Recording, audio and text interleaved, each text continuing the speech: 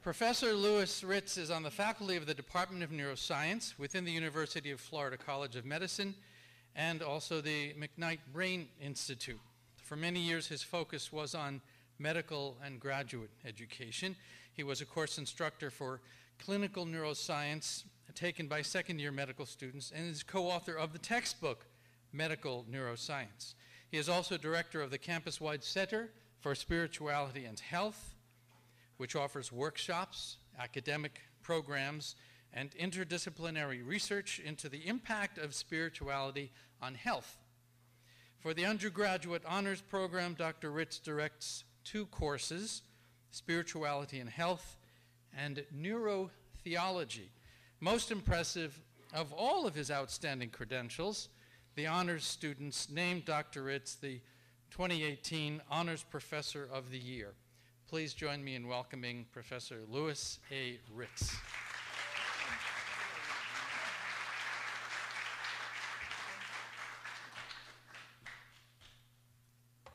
Thank you, Joshua, and welcome to everybody to Gainesville and to this conference. Uh, when I um, finished college in 1972, a long time ago, I started asking the big questions of life, and I wanted to uh, uh, understand who am I? Why am I here? What's my relationship to the Creator? And so I took two paths, and one was to study the central nervous system, and I subsequently got a PhD in neuroscience, and the other was to get involved in meditation. And um, a couple early books that influenced me were um, Yogananda's autobiography of a yogi and uh, Ram Dass's Be Here Now. And after uh, reading those books and going through college, I spent um, months, uh, probably a year and a half, uh, praying to be led to a God intoxicated mentor who could help me get answers to my questions. And so I got involved in a, a type of meditation called Surat Shabd Yoga. And I will tell you a little bit about the story in a simple PowerPoint today. So the talk, title of my talk is entitled is, is Shifts of Attention, the Origins of Transcendent Experiences.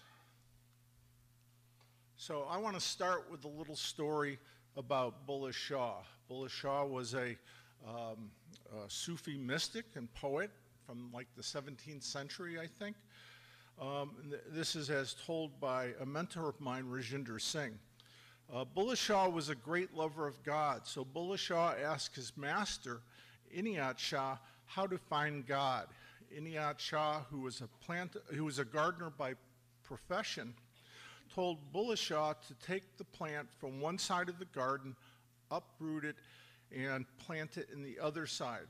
He said, just like you have taken the plant from one area and put it in another, you have to take your attention from the world outside and focus it at the thing, single or third eye or the seat of the soul. You will definitely find God.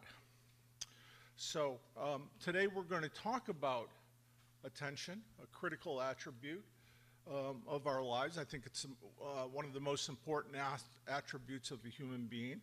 We're going to talk about traumatic shifts of attention. I'll talk about objects of attention, the thing, uh, these objects of the world that our attention falls on, and we'll have a brief neurological interlude uh, towards the end, and then we'll talk about the passageway to transcendent experiences and expanded consciousness. so, I want to start with a little parable. And this is a parable about spacesuits. So, there was an entity once who was living in its home domain and it was all conscious, but it decided to leave that domain and explore a, another realm. To do so, it had to put on a spacesuit so it could exist in this other realm.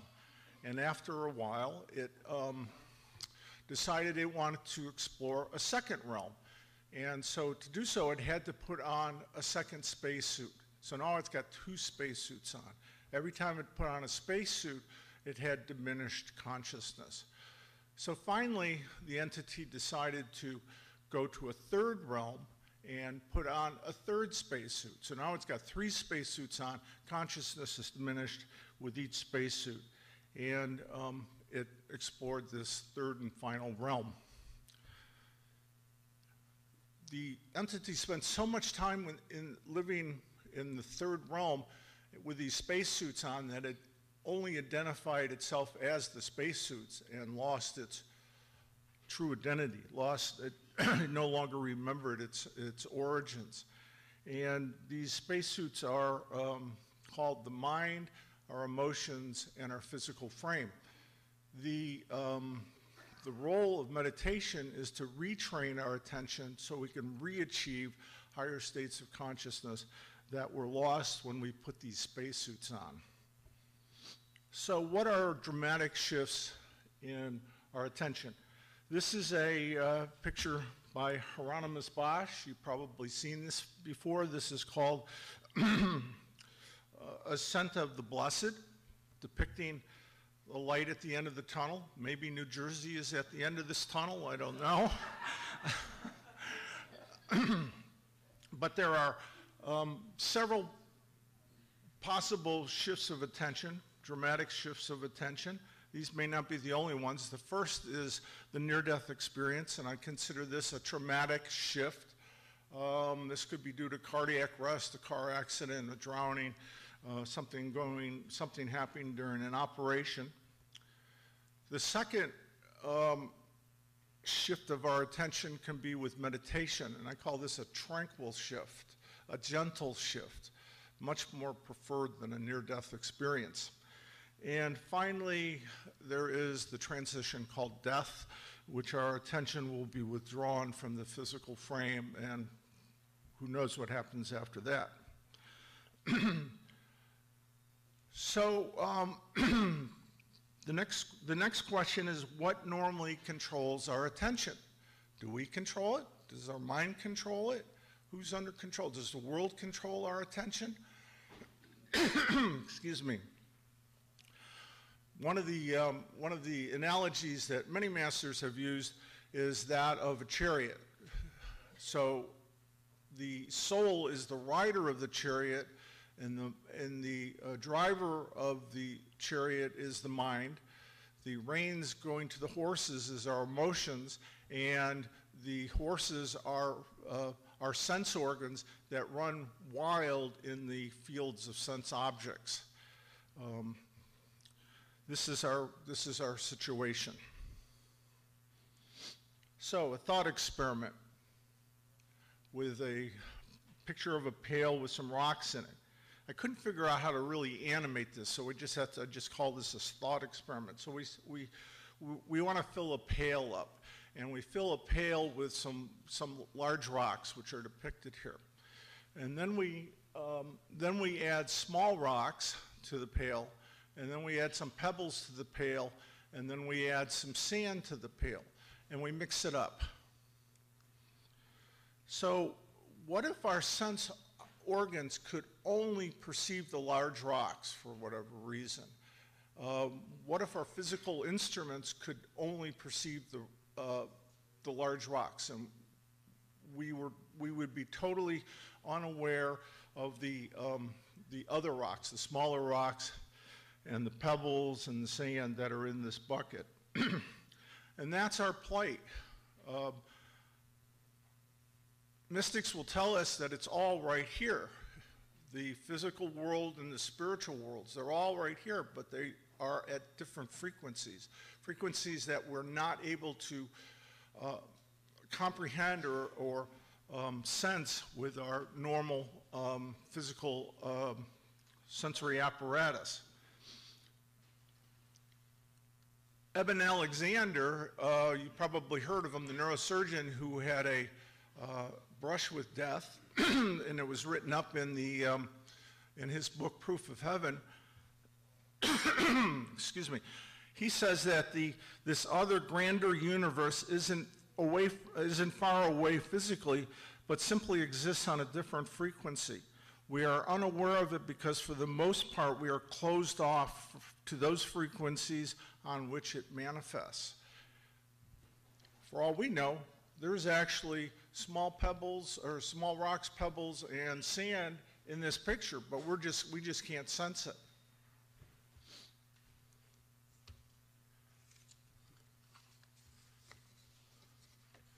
So when I, when I think of our attention, eh, which is the, you know, a major point of this, um, of this talk, I think of each of us um, uh, as a beacon of attention.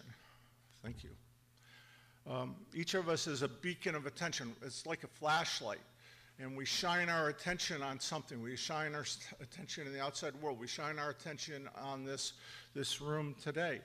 And um, where our attention falls, when, a, when our attention falls on an object of attention, whatever that object is, we are aware of it.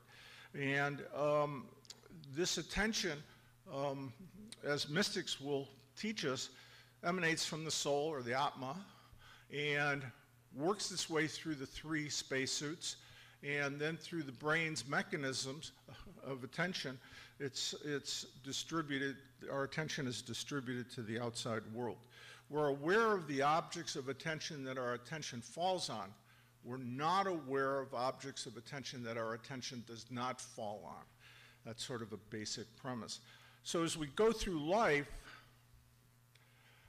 we can be, um, what I have, what I'm trying to depict here is two worlds and we have our attention falling on the physical world, and we're all quite aware of it when we drive our car or whatever.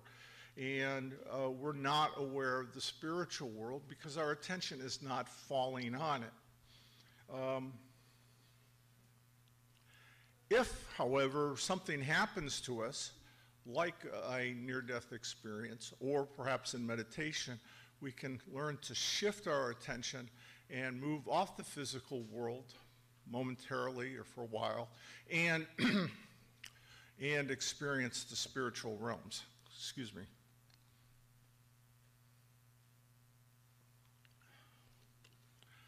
Now, as we go through life, the question is what, what are we really paying attention to? And I, I believe there's four categories of, of objects that we can pay attention to. The first is the outside world, and I'm depicted here um, in Millennium Park in Chicago. You may have seen the egg if you've been there. And that meant the outside world. We can be aware of things in the outside world. The second is our physical bodies. We can be aware of our physical bodies. We're especially aware of it if we're in discomfort, if we're in pain, we got a toothache or whatever. But you know, you may not even be aware of, you may not be thinking about your bodies right now. You may be um, um, you know, focus on the conference and not paying that much attention to, our, to your physical body. The third object of attention is our emotions, whether we're happy or sad or, or fearful or angry, etc. The fourth object of attention, what I'm trying to depict is the mind. And I believe that the mind grabs our attention and just demands our attention all the time. You wake up at four in the morning, it's there talking to you. And who's, who's talking and who's paying attention? That's, that's an interesting question. Um, now, um, I want to take a, uh, second just to go off and, and talk about a. am going to have my, my neurological inter, uh, interlude here. This is an experiment, and uh, just let's see if I can do this. Okay, this, this is an experiment in which people were in an MRI tube and they were asked to focus on something. And what happened, and their brains were imaged, and we got uh, an idea where, uh, what parts of the brain were um, activated during the focus process. Then, after a while, they would lose their focus and their minds would wander. Would wander. They would become aware of their minds wandering and then they would shift their attention back to the focus. Uh, what I'm really trying to show here is that there are two modes of the mind. The mind is always active. It's almost impossible to quiet the mind. It's always active. You can either control the mind or it runs on its own. And so uh, when we use our attention networks, to focus the mind on whatever conversation, reading a book, or whatever, uh, we're going to control things.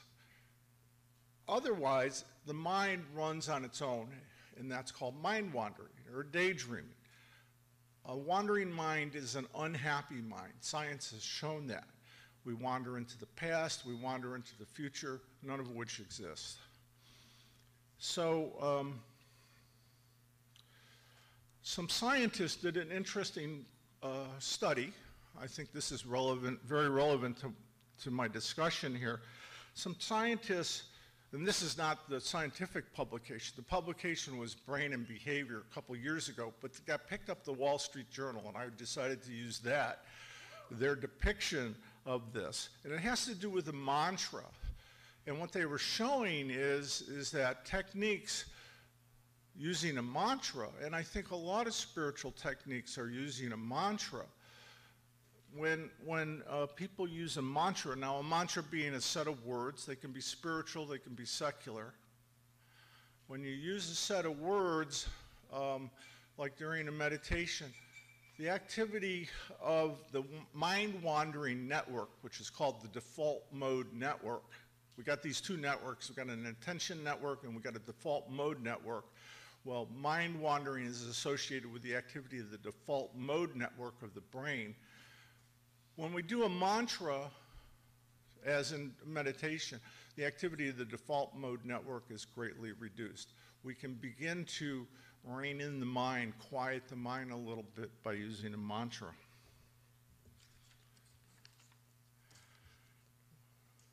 Now, what I'm going to hopefully explain to you is this idea of consciousness evolves when the self dissolves. I love the title of this talk. This is, this is actually a, a, not a talk, but it was a publication by Dr. James Austin. Um, Jim uh, uh, is, a, uh, is the retired chair of neurology at the University of Colorado. And um, he wrote an interesting uh, set of books. In 1998, he published a book called Zen in the Brain, and that book, to me, is at the forefront of brain meditation uh, uh, studies. He's gone on to publish about four or five other books. One listed here, shown here, is uh, Selfless Insight Zen and the Meditative Transformation of Consciousness. Um, but I like the title that he gave us here Consciousness Evolves When the Self Dissolves. By the way, Jim is in the audience. You just wave your hand, Jim? I'm probably embarrassing him, but he's, he's in the audience, and uh, um, I'm just delighted that he's here today, and um, um, I'm, I'm, sort of paying homage to his, his uh, friendship and, and uh, the work that he's done. So, Getting down to the last couple slides. So the question is, as we go through life, what is, what are we paying attention to? The, the human body is like this giant satellite dish, and we're picking up all sorts of information. Sensory information from the outside world, sensory information from the inside world. We're picking up our emotions, we're picking up our mind, we're paying attention to all of this stuff. And what are we paying attention to? I'm saying, what channel are we watching? We're watching, we could be watching all four of these channels the channel of the world, the channel of the body, the channel of the emotions, and the channel of the mind.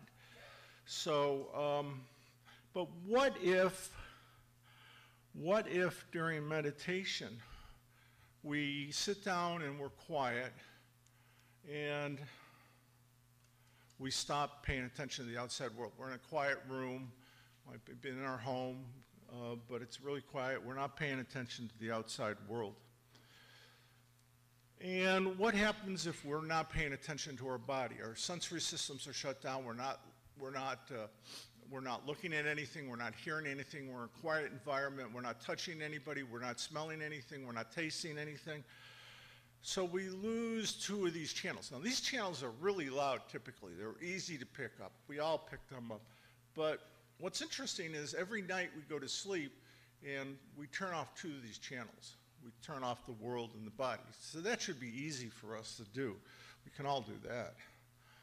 So then we got this channel called emotions. What if we sit down and meditate? And if you're a seasoned meditator for a while, you, you can begin to quiet your emotions. First of all, meditation is great at showing us this, showing us our emotions. It's a mirror to our inner landscape. And um, and working through the frontal lobes, meditation can help quiet our emotions. So that's another channel. And then we got this last channel. This is the, this is the real uh, stickler. This is, this is the tough channel to uh, turn off. But as I just tried to show you, we can quiet the mind by using a mantra. And um, what are we left with? What are we left with? What are we what channel are we watching then? Well, there's another channel that I have on here, which I call a sacred channel. And it, be, it this channel is the third or the single eye, which Inayat Shah told Bulleh Shah to put his attention on. And um, this is one depiction of this third or single eye, which I'm going to call the sacred channel that we can tune into a subtle aspect of human beings that allows us to go beyond the physical world and burrow our way into the spiritual realms. Um, we have a person, um, this is, I should give credit to, um, to Alex Grey in Sacred Mirrors. Um, I call this Gray's Anatomy, where he's showing the chakras, but the, um, but the third or single eye is up here at the top. It's where you're if you close your eyes, your, your attention's going to be drawn there. So that, I'm calling that the sacred channel. I, this slide is entitled Sit Still and Be Quiet. Did any of your parents tell you that when you were young? They were giving you meditation instructions. Uh, little did we know. Um, so ethical living is a foundation to meditation, but then there's the meditation practice. The one I'm describing here is Jyoti meditation, and uh, when we when we can focus our attention on this sacred channel, uh, we can begin to transcend awareness of our physical body and this physical realm, and we can enter into the spiritual realms that are all around us and within us. And um, this is my final slide. This is, I think this picture is called The Seeker. And this is a peak experience, not P E A K, but P E E K. And um, when, we, when we begin to focus our attention at the third or single eye, we can realize a number of things. We can see inner light, we can see uh, circles of light, light of any of different colors, um, flashes of light. We can go beyond that. You can see an inner sky, you can see an inner moon, you can see an inner sun, and then you go beyond that, and um, the real journey of spirituality can begin. By doing this, we realize we're not the body, we're not the emotions, we're not the mind, we are something else. We are soul or Atma. And um, we can realize that uh, the light of God shines in every person and interconnects all of us. Thank you very much.